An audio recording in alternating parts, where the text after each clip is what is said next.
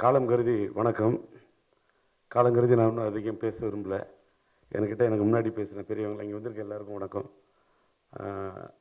தமிழ் திரை திரைப்பட தயாரிப்பாளர் சங்கத்தின் தலைவர் என் இனிய நண்பர் இயக்குனர் எஸ்எஸ்சி வந்திருக்காரு.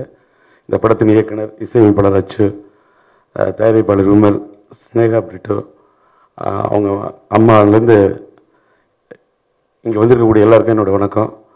ஆனால் அபிராமி ராமநாதன் ஐயா அவர் பேசிட்டாரு. இங்கே வந்து நான் பேசுகிறவன் தான். இவ்வளோ குறுகிய த காலத்தில் ஒரு குறுகிய டைம் இருக்குள்ள அதிகம் பேசி பொறுமையை நான் சோதிக்க விரும்பல. வந்திருக்கக்கூடிய படத்தில் நடித்த நடிகர் நடிகைகள் எல்லாரோட பேரை சொன்னாலே ரொம்ப நே நேரம் ஆகிடும் எல்லாருக்கும் என்னோடய வாழ்த்துக்கள். இங்கே ராமநாதன் சார் பேசின பிறகு எனக்கு பேசாமல் இருக்க முடியல. ஒன்று தமிழ் திரைப்பட தயாரிப்பாளர் சங்கத்தின் தலைவராக எஸ்எஸ்சி வந்தார். அவர் வரதை நான் கூட விரும்பினேன். ஆனால் அவர் வரதை சில பேர் விரும்பலையோ என்னமோ தெரில அவர் நல்ல ஒரு எண்ணத்தோடு எதாவது நிறைவேற்றணும் வந்தார். கால்கள் கட்டப்பட்ட நிலையில் யாருமே ஓட்டப்பந்தயம் ஓடவே முடியாது. கைகள் கட்டப்பட்ட நிலையில் ஒருத்தனால அந்த கரத்தை வச்சுட்டு எதுவுமே செய்ய முடியாது. அந்த நிலையில் ஒரு காலம் தள்ளியதா அது விதி தள்ளியதா சதி தள்ளியதா இல்லை சிலரது சூது மதி தள்ளியதா தெரியாது. அவர் அந்த மாதிரி நிலையில் இருக்கிறதுனால அவர் எவ்வளோ நல்லது பண்ணணும்னு நினைச்சாரு? செய்யவில்லை ஆனால் அபிராமி ராமநாதன் சொல்கிறாரு திரைப்பட திரை துறையில் இருக்கிறவங்கலாம் சேர்ந்து ஒரு நல்ல முடிவு எடுக்கணும்னு. இன்றைக்கி சும்மா நச்சுன்னு இருக்குன்னு ஒரு படம் எடுத்திருக்காங்க. இந்த படம் எடுத்த தயாரிப்பாளர் அவர் எஸ்எஸ்சி சொன்னார். அவர் நன்றியுள்ள ஒரு மனிதர் என்ற காரணத்தால் தான் அவர் ஆரம்ப காலத்தில் அவருக்கு யார் யார் கை கரம் கொடுத்து உதவினார்களோ அவர்களை பற்றி சொன்னார். அந்த கம்பெனிக்கு கூட பிவி இந்த விமல் என்ற அந்த பெயரை அன்றைக்கே அவர்கள் மறைமுகமாக இந்த படம் அந்த படத்தை தயாரிப்பதற்கு உதவியாக இருந்தது என்ற என்பதை அவர் சொல்கிறாருன்னு சொன்னால் ஆரம்ப காலத்தில் கஷ்டப்படக்குள்ள யார் யார் கை கொடுத்தாங்களோ அதை சொல்றதுக்கே சில பேருக்கு மனநிலை கிடையாது. தான் வந்தது என்னமோ பெரிய டாட்டா பிர்லா நான் பெரிய ஜமீன்தார் பரம்பரையில் வந்தவன் தான் சொல்கிறவன் சினிமாவுக்கு வந்த பிறகு ரொம்ப பில்டப் போடுறவன் தான் நிறைய ஜாஸ்தி. ஆனால் பிவி என்று அன்றைக்கு விமலை இன்றைய தயாரிப்பாளர்களுடைய விமலை அன்றைக்கே பிரிட்டோ அவர்கள் பணம் கொடுத்து உதவியதை அவருக்கு நல்ல மனம் இருந்த காரணத்தால் தான் இன்னைக்கு அவர் எத்தனையோ கோடி சம்பாதிச்சிட்டாரு. இன்னைக்கு அவரோட பையன் ஒரு பெரிய இடத்துல இருக்காரு. பெரிய பெரிய சூ- பெரிய சூப்பர் ஸ்டாராக அவரோட பையன் இருக்கார்.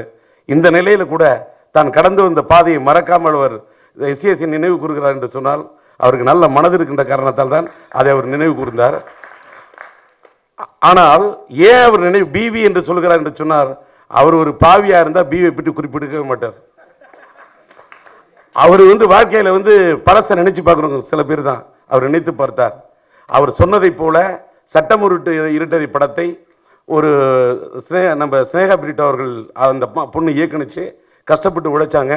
அந்த படத்தின் வெற்றி என்பது ஒரு கவிதை எழுதுகிற ஒரு பேப்பரில் அந்த கவிதை சரியாக வரல. ஒரு காகிதத்தை தூக்கி எறிஞ்சிட்டோம்னா ஐயோ காகிதம் போயிடுச்சு காகிதம் போயிட்டே இருந்துச்சுன்னு நினச்சிட்டு இருந்தா கவிதை வரவே வர போனது ஒரு காகிதம். கற்பனை நம்ம கிட்ட இருக்கு. அடுத்த கவிதையை எழுத முடியும்னு எந்த கலைஞன் முற்படுகிறானோ அவன் தான் வாழ்க்கையில் வெற்றி பெற முடியும். அந்த அடிப்படையில் அடுத்த படத்தை சும்மா நச்சுன்னு இருக்குன்னு ஏ வெங்கடேஷ் நல்ல ஒரு பெரிய இயக்குனர் அவரை வைத்து அவர் விஜய் வச்சு இயக்கியிருக்கிறார். என் மகன் யங் சூப்பர் ஸ்டார் எஸ்டிஆர் வச்சு கூட இயக்கியிருக்கார். நல்ல ஒரு இயக்குனர். இன்றைக்கு ஒரு புதுமுகத்தை வைத்து இருக்கிற இயக்கியிருக்கின்றார். அதில் வந்து நல்ல நடிகர்கள் தம்பி ராமையா நம்ம பவர் ஸ்டார் சீனிவாசன் மற்றும் நல்ல புதுமுகங்கள் இத்தனை பேரும் நல்ல ஒரு இசையமைப்பாளர். அந்த இசையமைப்பாளர் வச்சு நல்ல ஒளி ஒளிப்பதிவாளர். அந்த பாட்டை போட்டாங்க. நல்லா இருந்தது. நான் வந்து இந்த படத்தில் என்ன ஒரு பாட்டு பாடணும்னு வற்புறுத்தினாங்க. நான் எவ்வளோ பாட்டு பாடியிருக்கேன் ஏதோ ஹிட் ஆயிருக்கு. ஆனால் இந்த பாட்டு நான் பாடுறதுக்கு காரணம் இந்த படத்தின் அந்த ஸ்னேகா பிரிட்டோ அந்த பொண்ணு வந்து சட்டமுறை இருட்டரை படத்தை இயக்கிய அந்த அவர் அந்த டீனேஜ் பருவத்தில் இருக்கக்கூடிய அந்த பெண்ணுடைய அந்த ஞானம். இந்த பாட்டுக்கு இன்னார் பொருத்தம்னு அவ அந்த அவரும் அவருடைய தாயாரும் எனக்கு கூட அந்த பாட்டை கேட்டுட்டு அந்த நல்ல இசையமைப்பாளர் அந்த பையன் நல்ல யங்ஸ்டர் நல்ல தாளஞானம் நல்ல கம்போசிங் இதெல்லாம் இருக்குது அவர்கிட்ட பாட்டை போட்டு நான் கேட்டேன் இதே ஒரு இளைஞனை பாட வைங்கப்பா. ஏன் என்ன பாட வைக்கிறீங்க? வேணான்ட்டேன். ஆனால் இந்த பாடலை நீங்கள் தான் பாடியே தீர வேண்டும் என்று ஒத்தை காலில் தவம் செய்வதைப் போல தவம் செய்தது உண்மையில் இந்த ஸ்னேகா பிரிட்டவும் அவங்களுடைய தாயாரும் அவங்க அதே மாதிரி இந்த இசையமைப்பாளர். அந்த மூவருக்கும் நான் வந்து சினிமாவில் வந்து இன்றைக்கி எவ்வளவோ வாய்ப்புகள் பெற்றிருந்தாலும் இந்த சின்ன வாய்ப்பை ஏற்படுத்தினேன் எனக்கு ஒரு காலத்தில் நான் இன்னைக்கு டி ராஜேந்திரா உயர்ந்திருந்தாலும் ஒரு காலத்தில் எனக்கு ஒரு டீ வாங்கி கொடுத்தவனு கூட இன்றைக்கி நான் மறக்காமல் இருக்கின்ற காரணத்தால் இந்த படத்தில் கூட எனக்கு இந்த ஒரு பாடலை வாய்க்க வாய் வாய்ப்பை வழங்கியது இறைவன் கொடுக்க நினைத்தான். இறைவன் கொடுக்க நினைப்பதை பூமியில் தடுப்பார் எவரும் இல்லை.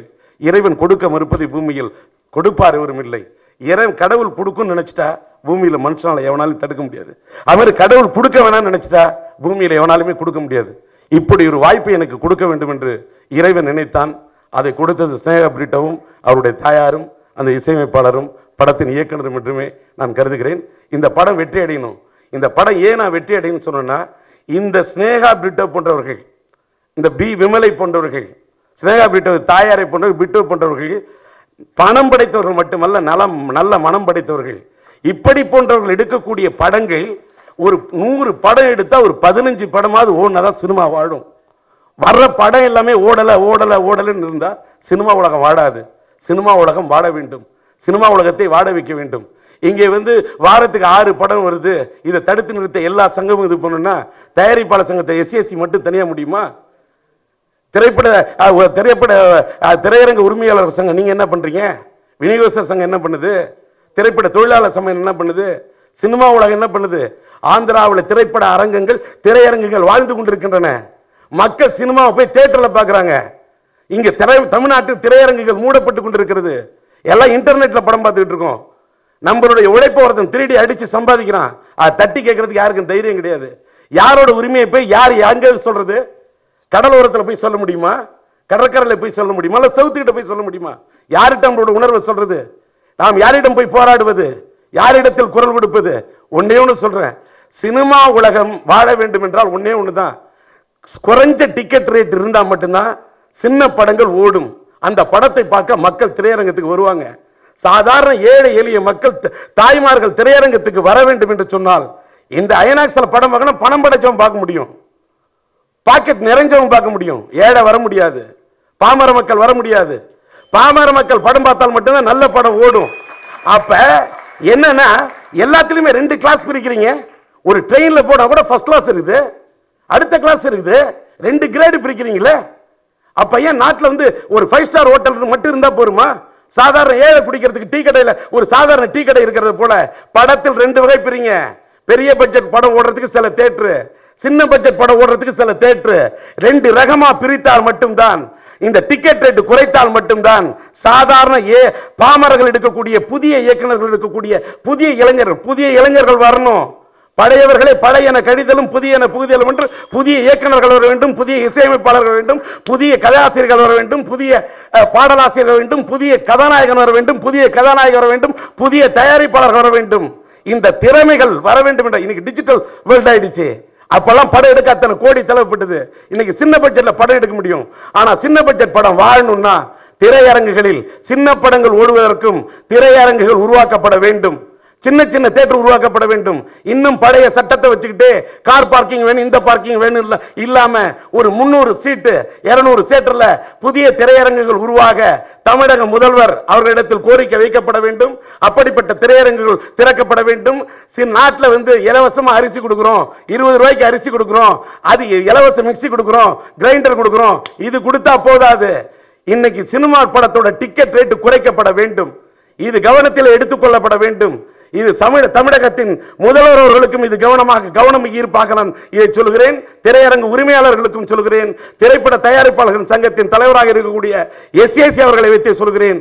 இதை போன்ற சும்மா நச்சுன்னு இருக்கக்கூடிய இந்த படங்கள் இதை போன்ற படங்கள் திரையுலகில் தயாரிக்கப்பட வேண்டும் என்றால் திரையுலகம் வாழ வேண்டும் என்றால் சின்ன மீன்கள் வாழ்ந்தால் மட்டும்தான் கடல் கூட இருக்கும். பெரிய வாசல்கள் இருந்தால் மட்டும் போதாது. ஜன்னல் இருந்தால் தான் வீட்டுக்கு கதை கா- காற்று வரும். அதை போல பெரிய பட்ஜெட் படங்கள் இருந்தால் மட்டும் தொழிலாளர்கள் வாழ்ந்து விட முடியாது. திரையுலகம் இருந்து விட முடியாது. இந்த திரையரங்குகளுக்கு படங்கள் கிடைத்து விடாது. பெரிய நடிகர்களுக்கு படம் வருஷத்துக்கு பத்து கூட வராது. அதனால சின்ன படங்கள் வளர வேண்டும் என்றால் அவர்கள் வாழ வேண்டும் என்று சொன்னால் நிச்சயமாக அதற்கு தமிழக அரசு நல்ல முடிவு எடுக்க வேண்டும். அந்த முடிவு எடுப்பதற்கு தமிழ் திரையுலகத்திற்குரிய அத்தனை சங்கங்களும் முன்வர வேண்டும் என்று இந்த நிகழ்ச்சியில பேசுவதற்கு வாய்ப்பளித்த பி விமல் தயாரிப்பாளர்களுக்கும் இயக்குநர்களுக்கும் அனைத்து இங்கே கூடியிருக்க அனைவருக்கும் என்னுடைய நன்றியை தெரிவித்து நன்றி வணக்கம்.